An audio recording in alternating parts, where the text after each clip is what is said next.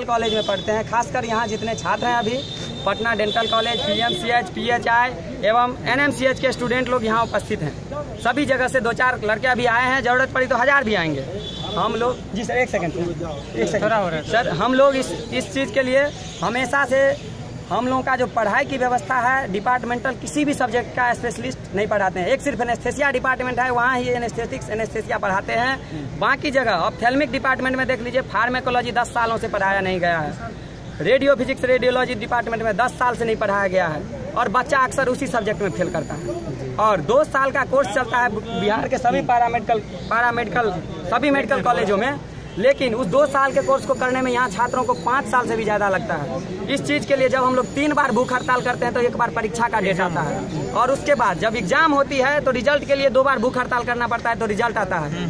बिहार सरकार को एक करोड़ कॉपी जांचने में इंटर मैट्रिक में तीन महीना टाइम लगता है लेकिन हमारे स्वास्थ्य विभाग के परीक्षा नियंत्रक को कॉपी जांचने में 300 स्टूडेंट का कॉपी जांचने में उसको छह महीना लगता है। ये तो शर्म की बात है। और हमारे स्वास्थ्य मंत्री जी ने आज आश्वासन दिया कि हम वो लोग बात करने के लिए बुलाए हैं कि बात करने के लिए बुलाएँगे आपको सोलह को आइए। लेकिन और आपको एक बात बता दें हम लोगों का पारा मेडिकल पी जैसे प्रतिष्ठित संस्थान में चलता है लगभग उन्नीस से। लेकिन यहाँ का हाल बता दें पढ़ाई का बता ही दिए लेकिन रहने का एक भी छात्र रहने के लिए यहाँ पे एक रुपये का सुविधा नहीं दिया जाता है ना एक रुपये छात्रवृत्ति दी जाती है। ये छात्र इतने गरीब हैं दयनीय स्थिति है घर का कि अब यदि समय सीमा पंद्रह दिन का दिए हैं सुप्रिंटेंडेंट और उप डिप्टी सुप्रिंटेंडेंट की पंद्रह दिनों में आपके रहने की व्यवस्था हम करेंगे यदि वो नहीं व्यवस्था बहुत खराब है लेकिन उम्मीद है कि स्वास्थ्य मंत्री बोले हो जाएगा। बहुत कम उम्मीद पाँच परसेंट उम्मीद रखे हैं हम तो फिर क्या कीजिएगा? नहीं होगा तो भूख हड़ताल करेंगे और स्वास्थ्य स्वास्थ्य मंत्री स्वास्थ्य मंत्री के आवास के सामने आत्मदाह करेंगे।